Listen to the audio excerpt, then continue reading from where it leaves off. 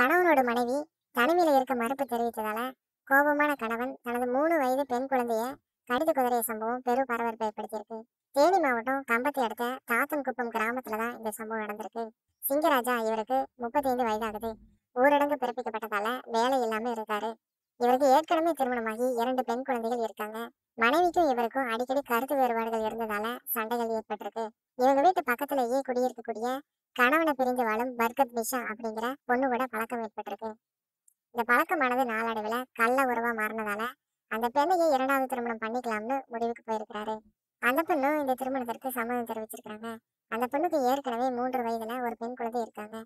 இந்த திருமணத்திற்கு இரண்டு தரப்புல இருக்கக்கூடிய வீட்லயும் எந்த விதமான எதிர்ப்பும் தெரிவிக்காததால ரெண்டு பேருமே திருமணமும் முடிச்சிட்டாங்க.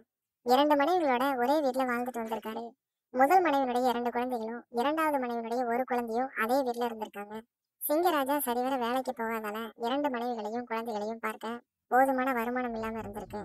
இந்த சூழல்ல முதல் மனைவிக்கும் இரண்டாம் மனைவிக்கும் அடிக்கடி சண்டை ஏற்பட்டிருக்கு. இதனால கோபமான பர்கத் நிஷா தன்னுடைய குழந்தைய எடுத்துட்டு பக்கத்திலேயே ஒரு வாடகை வீடு பார்த்து அந்த வீட்டுக்கு போயிட்டாங்க. முதல் மனைவி கூட கோவிச்சுட்டு சிங்கராஜாவும் இரண்டாவது மனைவி கூடயே போயிட்டாங்க. தனிமையில் இருக்கக்கூடிய இவங்க ரெண்டு பேரும் பகல் இரவுன்னு நேரம் பார்க்காம பர்கத் நிஷாவை உல்லாசத்துக்கு அழைச்சிருக்கிறாரு.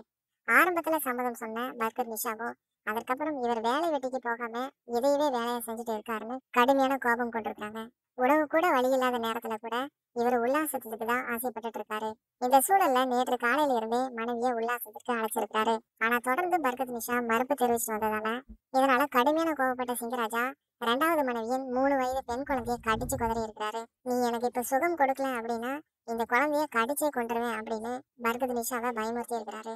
அதனால வேற வழியே இல்லாம பர்கர் பிஷாவும் இதற்கு சம்மதம் சொல்லியிருக்காங்க சிங்கராஜா உல்லாசத்துக்காக சைக்கோ போல செயல்படுவதால பயந்து போன பர்கத் பிஷா அந்த வீட்ல இருந்து குழந்தையை எடுத்துட்டு வெளியேறி தற்போது காவல் நிலையத்துல புகார் கொடுத்திருக்காங்க அந்த புகாரின் பேர்ல விசாரணை செய்த காவல்துறையினர் சிங்கராஜாவை போக்சோ சட்டத்தின் கீழே கைது செஞ்சிருக்காங்க